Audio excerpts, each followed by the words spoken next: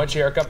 We are invited to attend a very special brunch. This to help mm-hmm. support patients and families of those living with Alzheimer's disease. And joining us with a great excuse to enjoy friends, family, art, and mimosas. My favorite. is health anchor Liz Bonis. Liz. I thought you'd like that. Mimosas for Memories is a special event. It is coming up Saturday, April 27th.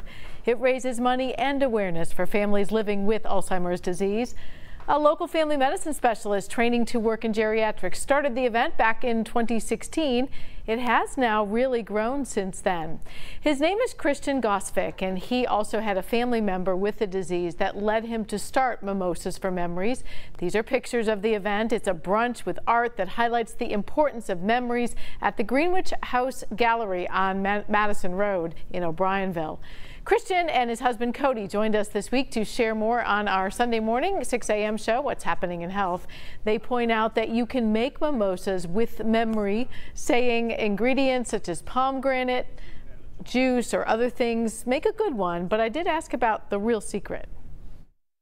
Champagne, of course, about 75% champagne, and then 25% you can do pomegranate juice. The classic is orange juice. We've done peach before, um, pear juice before. So as long as you've got that 75% champagne, I think you're in good shape. So I love the connection between art and memories. Um, I think that art and um, medicine go well together as well. Um, we wanted to do something different, so that's why we went for a brunch time event and thought mimosas fit perfectly with that.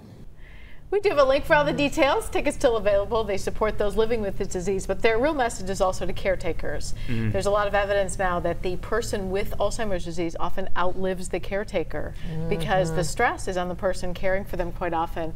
The money raised helps support families like that makes a big difference. I had no idea about that. That's heartbreaking. It is. When you think yeah. about it, the patient isn't aware that they're declining. Mm -mm. The other person is picking up the burden, and quite often you feel like you can't ask for help. You don't want to put them in a nursing home or an assisted living living facility, you want to care for them, and yet they're not able to help themselves. It's a lot of burden. So uh, I have a lot of friends going through this, not just with Alzheimer's, but that whole caretaker scenario you're talking about, and you have to take time to recharge yourself if you're mm -hmm. a mm-hmm. caretaker. Which, when you're 100% as the caretaker yourself, yeah, is a bit it's of difficult. a challenge. Yeah. yeah. yeah.